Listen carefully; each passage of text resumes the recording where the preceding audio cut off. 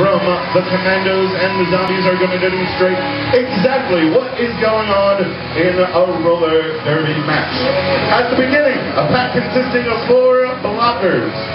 All right, we're going to turn that down. There we go. A pack consisting of four blockers from each team line up on or behind the pivot line. The pivot line the pivots are distinguished by the helmet panty with the line on the head. They are your pivots. They will be setting the pace.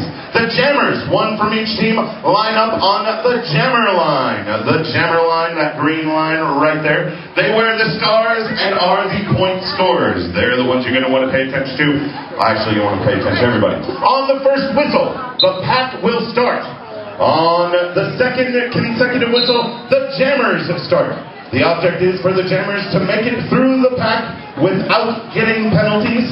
The first jammer to do so on her first pass is your lead jammer, as demonstrated right now. Heartless Martis is now your lead jammer. You can see the referee holding an L and pointing towards the lead jammer, holding up the hand representing, you'll see the purple representing the zombies.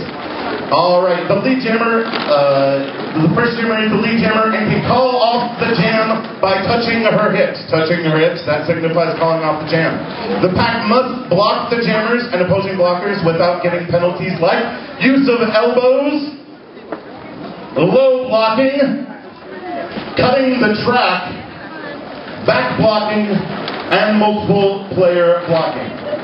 The points are scored, one point for every player passed as the jammer makes their track around. If the jammer can make it all the way around and up and lap the opposing jammer, it is a grand slam. A grand slam worth five points and multiple grand any points can be gained as long as the jammer uh, within two minutes until the jammer again touches her hips.